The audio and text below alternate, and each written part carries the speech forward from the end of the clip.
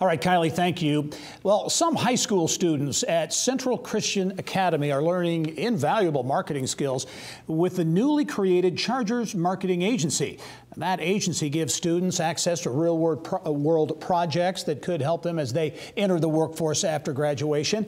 In our Eye on Education report this week, head of school uh, David Sexauer explains how the company is also filling a gap in the marketplace by providing much needed services to nonprofit, uh, nonprofits. And David? Welcome to the program. Thanks, Gary. Uh, Central Christian Academy, not a, your typical um, uh, private school. Describe this school uh, just in the near south side of Indianapolis. Yeah, so we're urban and we uh, embrace that fact. We're just south of the Fountain Square neighborhood in the Bean Creek neighborhood ourselves. Mm -hmm. And so what we're looking at is a school that has a population that's both ethnically diverse and then mostly serves low-income families. Uh, in addition to that, the families that are sending their children there have don't they don't really have expectations about going to a four four-year college university. About half our kids do, which is great, but about half of our kids are going to go right into the workforce out of high school, and so we're trying to prepare them well for that. K-12 uh, institution, and that is really uh, you know on a bit of a roll. Your arrival there 20 months ago, and enrollment uh, that had been waning a bit is is on the increase.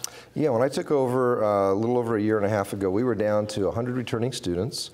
Uh, we added 70 in the first year. Uh, we've added over 90 this year, so we're up over 200 now yeah. and continuing to climb. All right, let's talk about uh, Chargers Marketing, which is a marketing agency that you have created in the school, run by students and participated uh, participating students in that program. Talk about this idea, uh, which gives students really some great hands-on experience. Yeah, so the genesis of the idea came about with uh, working with a guy named Brandon Stewart. He's an alum of the school. He had been working for a couple of startups in town, and we were just talking about what was next with him, how he might be involved with the school, and I got the idea that really, he really wanted to do was his own marketing startup. And I asked him if he'd be willing to do it with us to serve a couple of different needs. And one would be to help our kids have real world experience.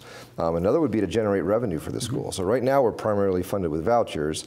We don't have a real big donor base. We're working on that, but we need to be doing some other things to drive revenue, and this would allow us to do it.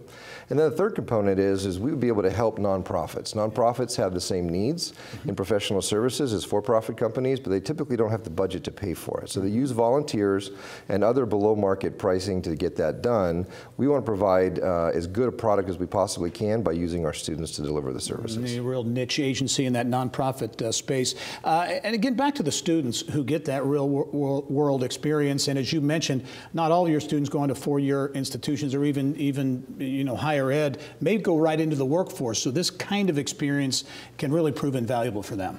Yeah, so I was an IT guy for about 20 years. Uh, my undergrad degree and my graduate work is actually in theology mm -hmm. uh, and history, so it, it, wasn't really applicable other than the fact that I had that degree. But I found that I had an aptitude and then got a skill.